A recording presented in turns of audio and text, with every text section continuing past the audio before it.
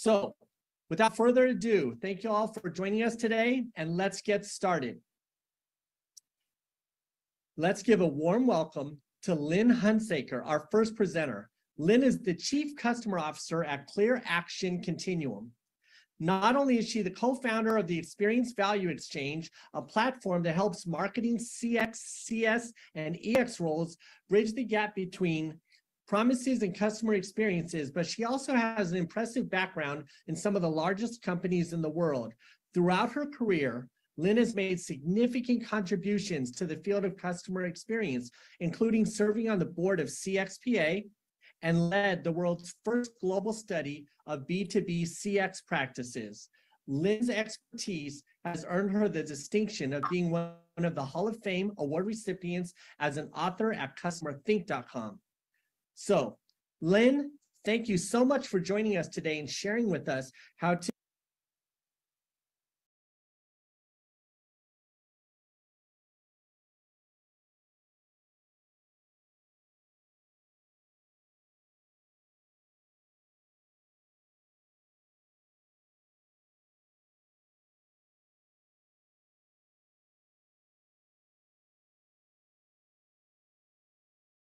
to shape your firm's growth curve through CX insights. Thanks, Dennis. It's a pleasure to be here. I'm so excited to share this really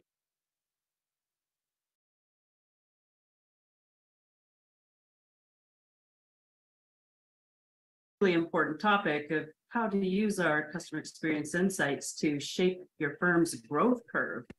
Something that we should be thinking about uh, so much these days. Fantastic. Well, Lynn, the floor is yours. Wonderful. Thanks, Dennis. So kicking off this uh, CX Awards 23, some uh, food for thought for 2024. All the growth sources in your company include your existing customers and new customers, which are quite familiar to us in customer experience management. Add to that new market expansion, also new product development and launches.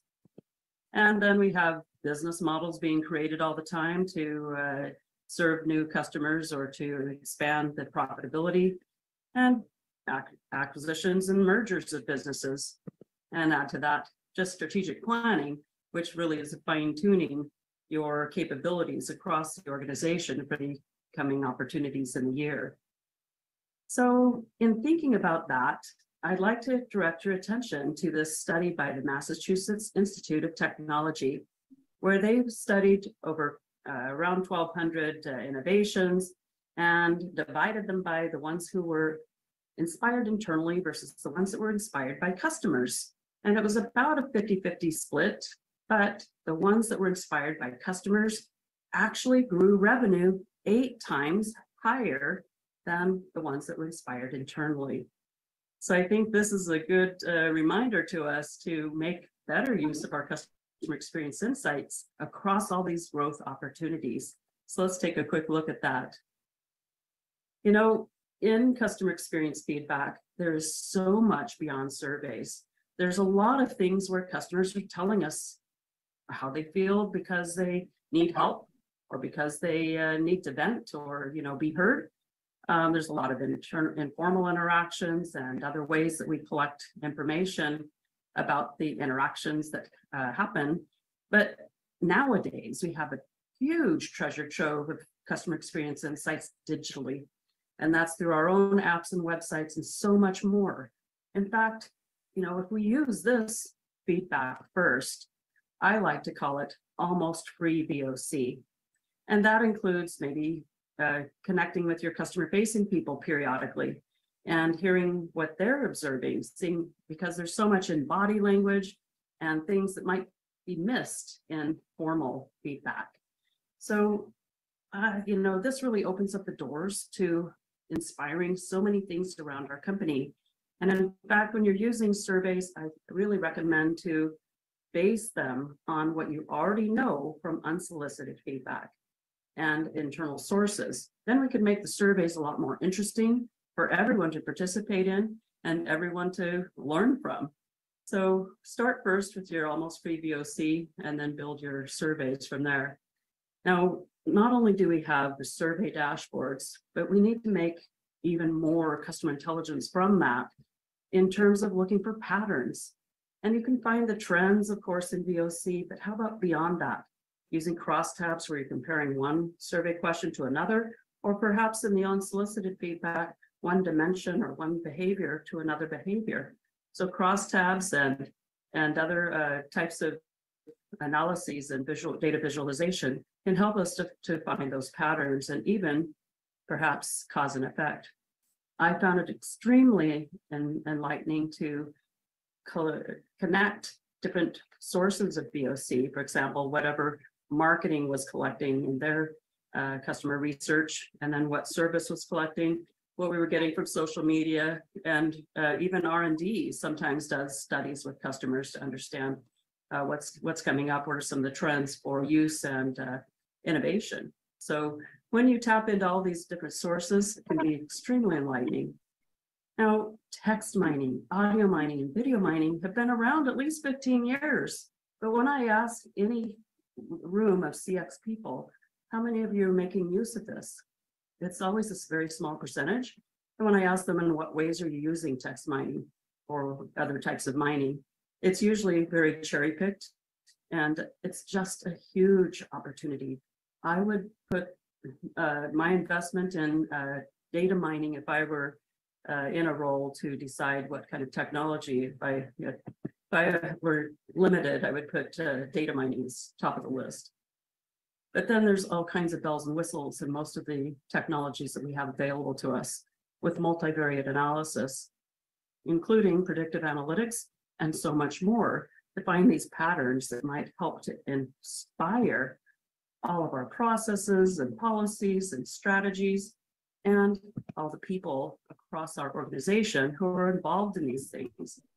Even when you have people who are looking for cost containment and ways to uh, reorg or, uh, you know, revise things because of remote or hybrid working situations or situations with customers uh, nowadays in the 2020s, uh, there's so many opportunities for us to just tap people on the shoulder and say, hey, guys, we have some really interesting insights that might be useful in what you're working on. So I'd like you to take a moment to just think about existing customers, new markets, business models, new products, and acquisitions and mergers. How do your customer experience insights guide growth in each of these endeavors? If not now, what could you do tomorrow or next week even to start inspiring and guiding those growth opportunities?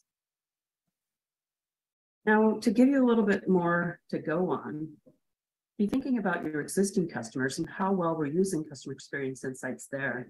I think we've done a pretty good job of increasing fans through referrals, driving the promoters and so forth. Agile design is a huge opportunity that we've been uh, embracing for a few years. Upselling and cross-selling have certainly been a, a big endeavor for the past 20, 25 years. But not only unlocking value for existing customers, how about stopping waste? So this includes um, reducing churn, which of course everyone's involved in, resolving issues and preventing issues, getting to the real root of things to stop the nonsense and uh, you know have all the savings from that. So there's a lot of opportunity with our existing customers. Now the next uh, growth opportunity is uh, is your uh, new markets. So attracting fans, maybe from a different uh, cross section of, of uh, the consumers or, or industries, or it could be a new geography, territory. So I recommend to use customer experience sites to help the company understand what are the costs to serve this type of customer, that type of customer, and so on. And when you understand the cost to serve, insert that into the ideal customer profile for these new markets. Because most of the time, your business development people are doing this rather blindly, and they're only looking at what is the revenue potential, which uh, verticals are the most lucrative. But they're not looking at cost to serve in terms of what are your sweet spots for delivering to the expectations you're setting. And so that brings us to uh, understanding the expectations of these different customer types and making that well known across your marketing and salespeople to manage the expectations from the very beginning and carry that through the entire life cycle or end-to-end customer journey. And even more, we can use customer experience insights about these new markets to set standards for all of the operational groups across your company so that they are meeting or exceeding those expectations. Now, the, the plain definition of customer experience success or even business success is simply, are you meeting or exceeding your customers' expectations? And secondly, are you doing it better than anyone else? So this is a real key area to be educating our work groups across the company. And in addition, setting those standards for our partners and even suppliers. So the next growth opportunity is business models. You have a lot of people in different groups. It could be product groups, marketing groups, even strategic planning group and, and on down the line. Quite a lot of people thinking about new ways to uh, shape your pricing structure to make things available to customers. And so here we have usually a whole group of people out there, they're unserved customers. This is a huge opportunity to learn about them through customer experience insights. There must be a lot of clues in this unsolicited feedback, the almost free VOC that can uh, really enlighten the people who are creating business models. And predictive analytics has, of course, you know, the real-time opportunities and service, but even more so for your what if scenarios that marketing and uh, operations can be uh, considering for uh, warranties versus discounts versus pricing at different levels or, you know, very, so many different aspects of uh, business models and rolling uh, products and, and services out to new markets. Predictive analytics can be quite helpful, but that's all based on what are you collecting for customer experience insights. Furthermore, uh, segmentation can be uh, even more successful if you're basing the segments on expectations, patterns that you're seeing across the end-to-end journey. If you have a consistency of uh, concerns or uh, emotion among different customer groups uh, about risk aversion, for example, or timeliness or simplicity or empowerment, those would be an expectation segment that would really help to guide these business models and other growth opportunities much more successfully. For new products, um, this is all about expanding your fans uh, and also expanding the lifetime of your existing customers. So you want to look for underserved customers and overserved customers and consider how you can make light versions or less complicated versions for, for the, uh, for the overserved customers, and then of course, more sophistication for underserved customers. And always we should be using customer experience insights for launch dates and of course for human-centered design. Keeping things agile and making sure we're checking in with customers and making sure we're touch, uh, revisiting what we know about what's uh, what's so important to our customers. And when we do this and take a little bit of time, we're going to have a lot more successful rollouts. So the marketing plan is real uh, critical for including customer experience insights make sure we're hitting all the buttons uh, correctly. Now, for mergers and acquisitions, you're actually multiplying your fans. And so uh, here you want to pay attention to your brand essence from the very beginning. Take a, a close look at your own customers ideas of what's sacred about your brand? What are the aspects that if those are missing or negated in the future, it's no longer your brand, you know, it doesn't really feel like hand and glove situation. Um, and then do that for the other brand that you're merging with or acquiring and find that sweet spot so that you can uh, focus on the strengths of both brands. Now, I want to tell you just a very quick story about brand essence. J.C. Penney maybe ten or ten or so years ago, hired the uh, guru behind Apple stores, the guy who figured out how to make Apple stores so uh, successful, the Genius bars and everything. So J.C. Penney board of directors hired that guy to be the CEO of J.C. Penney. And at that time, he decided to make uh J.C. Penney logo a square and uh, create a square deal. Everyday savings and no more of these darn back to school sales and Christmas sales and. You know, all the flyers that they have to uh put in the newspapers and things. And uh, they also got uh, Ellen DeGeneres as a spokesperson to talk about the square deal on television ads. And uh, you know, they made a number of other changes. Now, J.C. Penney was over hundred years old already, and so they had a very entrenched customer base that was very uh, you know, used to certain things and valued certain things. I'm not quite sure how much research they did in making all those decisions. But I can tell you from several news stories that they lost a quarter of a billion dollars, a quarter, yeah, every quarter. And so after they, four quarters, they decided, well, the CEO wasn't quite working out for us. And they ended up getting a new CEO. So that's the importance of paying attention to the brand essence, using customer experience insights for all those kinds of decisions. It's very critical. And luckily, they were able to turn around a lot of things at J.C. Penney after that. So in your integration plan for mergers and acquisitions, always use customer experience insights to influence as much as possible. Not just your marketing aspects, but everything as much as possible. Because the more we're aligned, the more successful we'll be. Every model I see from the big consulting firms about acquisitions and mergers shows culture like at the end of the, the, plan. I'd say put it at the beginning of the plan, because all you, culture really is, is how people think and do. So understand each entity's overall thinking and doing. And again, find that sweet spot and drive that culture to alignment with what's important to your customers. Then there's further that you can use your customer experience sites to influence the employee experience and partner experience to have that commonality and alignment.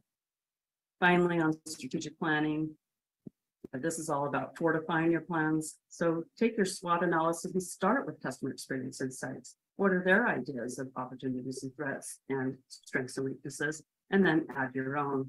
I really found uh, super success by using relationship surveys just before the strategic planning survey, uh, strategic, strategic planning process happens. And if I did a, a like a road trip around the world to read out the relationship survey and get people to create action plans on that survey before the strategic planning starts, that's a huge uh, customer centricity uh, advantage that is built into your strategic planning mindset.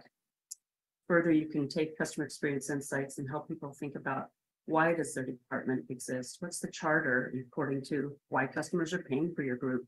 Why are they paying for your role? And redefine your job description like that.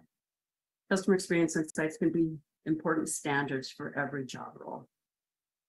So in closing, thinking about the internally inspired growth that you're currently pursuing with existing customers, new markets, business models, new products, and strategic planning. Would you like to increase that by up to eight times what you're currently getting?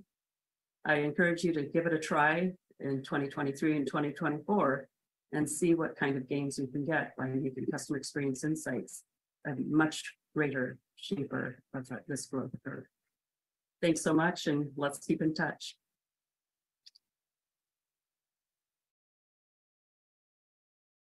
Awesome presentation, Lynn. Thank you so much. We have a few extra minutes, so I know there's got to be some questions from the audience, but if you don't mind, Lynn, while we wait for some audience questions, audience, please type your questions into the chat window and we'll be sure to answer those. I'm sure Lynn is anxious to answer some of your more in-depth questions.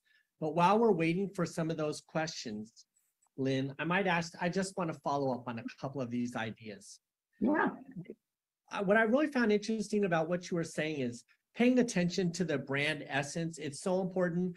You brought up JC Penney, but I think we can all think of a couple of other brands who are going through some similar customer experience revelations at the moment. And my question is, can you elaborate how much does the brand essence live in the hearts and minds and souls of the executives of the 100-year-old brand? And how mm-hmm. much of that brand essence really lives in the hearts and minds of the customers? How do you how do you navigate that? Well, you've got to pay attention first and foremost to what it means to customers. Because they're the ones who are using it. They're the ones who have a sense of why they're using it and what it's doing for them. And how it compares to other alternatives that they they know about. And so when you understand those uh core factors, it's just really important to respect it. Say, for example, McDonald's, what is their brand essence? Well, fast. Uh, low cost and family friendly, right? So if they were to introduce uh an expensive hamburger or, you know, some advertisement that is uh, a little bit uh, risque, you know, not family friendly. Uh, or they were gonna take, you know, twenty minutes to thirty minutes to deliver something, it's just not McDonald's anymore, right? And so it turns people off and uh, and they just don't, they don't prefer it, it really erodes trust when you don't understand the brand essence and respect it. Because people want to be able to rely on things, they want some degree of predictability. Even though they are also excited about seeing new things, it just needs to be in alignment with your general theme. And that is in your customers' heads more so than the executives. Understood. It, and you know, that really points to something else you said about putting this customer understanding at the front of the strategic process. And I think you were talking about this mostly in the context of the overall operations, growth, the management of an enterprise. But it sounds like that's also true for a campaign, for instance. If if we're going to introduce a new product or introduce a new target segment, what is the right way, if if you could elaborate on how to gather the customer intelligence or the voice of the customer the customer input around the change that's about to happen with the brand? Well, if you're looking at customer service call logs, for example. Uh, most of the time, it's this call is being recorded for quality purposes. How about Yeah. using it for innovation purposes? Okay, so you can uh blank out the the uh identifiers, so you can keep it anonymous or just look at the pool of data, right? You don't need to have any kind of associated uh private uh information. But what you're looking for is the customer said, I'm trying to do X, but then Y happened. And now Z is my consequence, pure gold. You're never gonna get that degree of detail from your surveys or, you know, very, very much less. And not uh, as much of a, a representation either. So use data mining, use voice mining whatever you need to, to harvest that treasure trove in customer service and other almost free VOC. When you find out what customers, uh, you know, really get passionate about, what makes their, their tone of voice change for the negative and for the positive, those are the moments of truth. Those are the things that are precious to them. Those are the things that they get really riled up when, you know, it's not there, it's not cool. So that tells you a lot about brand essence.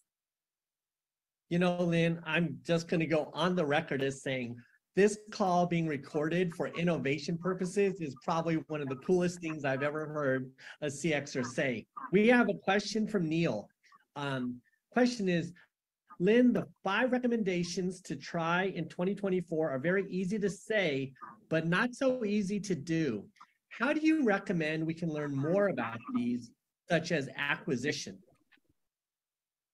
Well, you know, one of the things that I found to be so useful is to go make friends with people who are in those decision-making capacities in your company, right?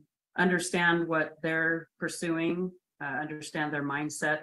What are the things that they're seeing as what's in it for me and what's not in it for me, uh, from, from their own viewpoint and from the company's viewpoint.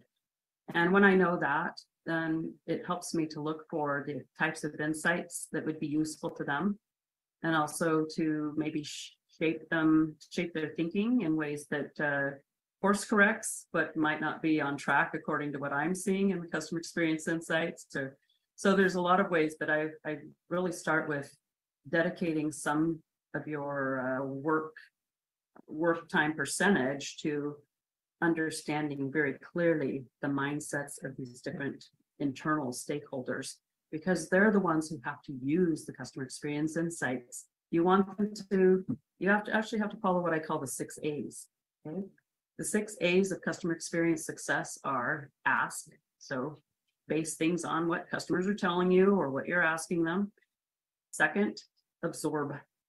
Third, adopt. Fourth, act or apply.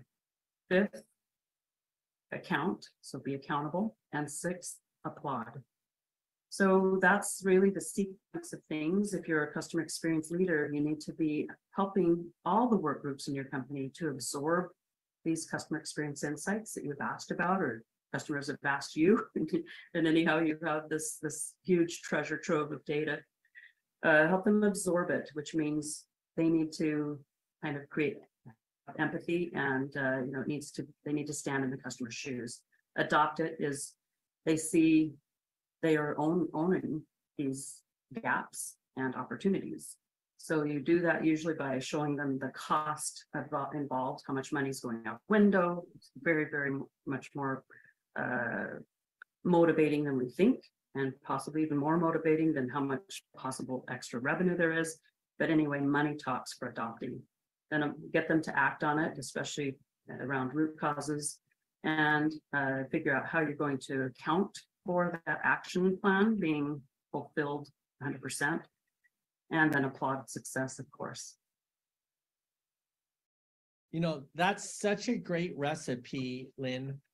And what I, what I like about this is you have engagement and action throughout your entire prescription. And, and Neil says thank you as well. Lynn, can we talk a little bit more about the underserved and overserved customers? And, and as I was listening to you talk about the approach to, to operationalizing growth and the idea that not all customers are equal. But at the same time, you know, can you just elaborate? I'm curious. Some voices of customers are louder than others. And are those the underserved customers or are those the overserved customers? How do you put into perspective the wide body of customers and find that prioritization that allows us as CX leaders to make insightful short-term changes that gather support from our peers. Right, so it's not really a matter of loudness. It's a matter of looking for patterns in the customer experience insights.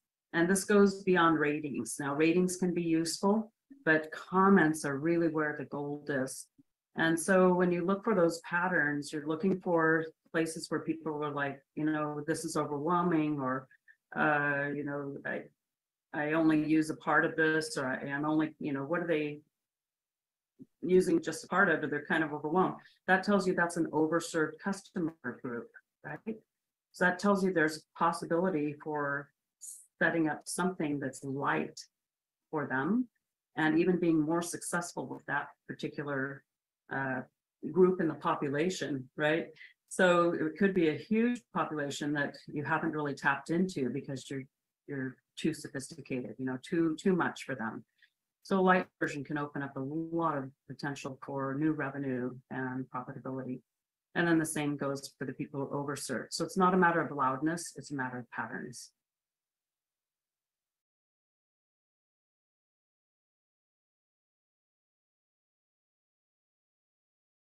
Okay, I think we'll last Dennis just a second. All right. Yeah, so I can tell you that uh, when you're looking at unserved, underserved and overserved customers, uh, there's also that other group that's served correctly, right? So you might have four breakouts of, of customers when you're looking at what are the uh, elements that, that you're hitting the sweet spot on? And what are the ways that you can increase sophistication or decrease sophistication or make things more available. For example, vending machines is one way that we serve unserved customers. People who don't have uh, access to your product or service, they can get it through a vending machine or through an app or you know online because they're not close to a physical distribution place. So unserved customers are also a huge opportunity for expanding your value. Wow. I, I literally could sit here and talk all day. We have only five more, five more minutes in, in this, in, in this. Got that five more minutes. Say that again? We- We, have we have five more minutes And I want to just, can you expand on, when you talked about putting culture at the front of CX, can you, can you talk a little bit more about the power of doing that?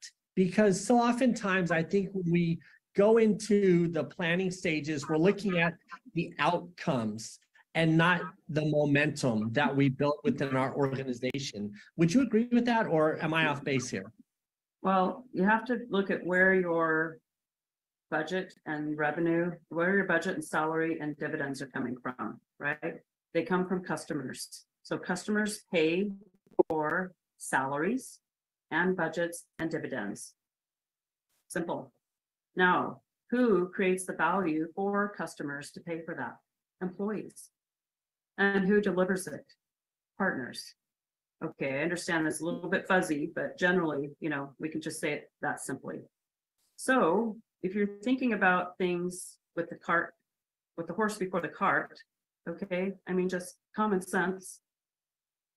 Respect your customers first. They're the source of money. So what the heck do they really care about? Make that the watchword. This is a North Star. You might be thinking you see everything because we're living in modern times. But let's just be thinking about the guys in the 1700s, 1600s, where they didn't have any kind of uh, navigation instruments. They had to rely on the North Star. The customer is your doggone North Star, right? Let's just respect that. Second, employees are how you get there. Now, the fact that we have so much grief with employees these days, I think it just underscores how we have not put culture first in growth opportunities and especially mergers and acquisitions and reorganizations. Culture is how people think and do, and we've set that as a group, you know, how does a group think and do? Now you can shift that. Customer experience leaders can have a huge influence on culture in the way that you collect and share and advocate customer experience insights. Because if you get one group to be thinking, to absorb something and to be thinking, wow, that can't stand, we've got to make a change. Well, you're shaping people's thinking and doing right there. You're making a modification in culture. If you maintain that for six A's, which means you have to establish accountability and applauding, right? So uh, if all of these things uh, actually start with what do customers see as the opportunities and threats? And what do customers see as the strengths and weaknesses? And then add your own ideas or add custom add employees after that would probably be the best thing. So change the way you're collecting insights about employees in accordance with what I just showed you, the almost free VOC, almost free VOE. And then use partners as a third layer. And then your own wisdom as being a guru in your own field. I would put it like that. Respect the hand that feeds you. Customers, employees, partners, and yourself in that order. That I'm so glad I'm here with you today, learning these things, having the the insight from the customer first, and then bringing it almost back as a filter, or I guess more like an accelerator to to your own business's strategic process. It's invaluable insights the last thing you have, we have about one minute left, Lynn, but since I have you here, I'd love to just ask you this question. It's a topic that's across our industry right now. I just love to get your perspective. I've been hearing a lot of people talk about EX and CX, EX being so important and pivotal to the success of all brands this year. And it feels to me like it's gaining momentum. Would you agree with that? Or can you give us some insights about what we should be paying attention to there? Last thoughts. Absolutely. Yeah, since the beginning of the pandemic, EX has become so much more important. And particularly after uh, mid 2020, when we were having a lot of uh, awareness, the new awareness of uh, the importance for equity, inclusion, and diversity um, I saw a lot of customer experience people going into that role uh, in my LinkedIn network. So that's great. Um, so I think there's definitely been a real awakening about the employee, the importance of employee experience. Now that's been exacerbated by the great resignation and also quiet quitting and other things that are very unproductive for our gross domestic product and uh, company growth, uh, you know, to say the least. But, um, you know, I think that it's a misnomer that employees satisfaction comes first. You have to respect the hand that feeds you, customers. For example, I go into a, a ice cream shop because I want to celebrate something and the employees are having a great time with really loud music that is, you know, grating to me. It, it destroys the whole ice cream experience, right? So You know, 100%. be true to your brand essence, respect your customers' brand essence in what you're doing with your, your employees. And also, let's start just being more, more aware of the almost free VOE. What are their values? What are they trying to get done? What frustrates them? What uh, creates their joy? What are they trying to get done through your brand? And listen very differently so that you can find that alignment. And, uh, you know, I think everyone will be much happier in the world because of that alignment. Lynn, I love what you said. Respect the hand that feeds you. Thank you so much for being here today on CX Trend Talks. We'll be seeing you later in the panel discussion. Is that right? Fantastic. Looking forward to it, Dennis. Thank you. Thank you so much for being here today, Lynn. My pleasure.